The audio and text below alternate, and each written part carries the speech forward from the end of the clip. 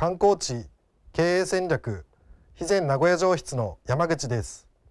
今回も文禄慶長の駅から始まったと言われる綱引きについて紹介します。波戸の海中盆綱引きは豊臣秀吉が文禄慶長の駅で名古屋に滞在中。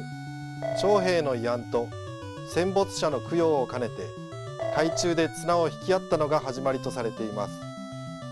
勇ましい若者が太鼓の合図で満潮の海に飛び込み直径50センチ長さ30メートルの大綱をしぶきを飛ばしながら引き合う祭りで毎年8月15日に波戸漁港で行われます。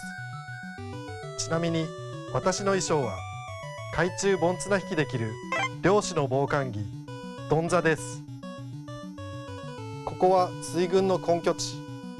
島津水軍や久喜水軍が激しく引き合ったことでしょう。現在は太鼓の合図で走り海に飛び込む時などが豪快で写真家たちのシャッターチャンスとなっています。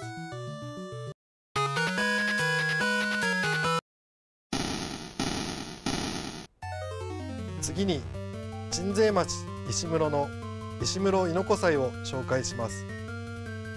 豊臣秀吉が名古屋に在陣中地区の人たちの士気を高めるために始まったと伝えられ石室地区を上組と下組に分けて稲わらで酔った縄を合わせて作った大綱を3回引き合います。旧暦の10月最初の亥の日に行われた祭りでしたが現在は11月の第2土曜日に行われています。この祭りは誰でも参加できますのでお越しの際はぜひ綱を引いてください。今回はここまで。次回は文禄慶長の駅と唐津焼について紹介します。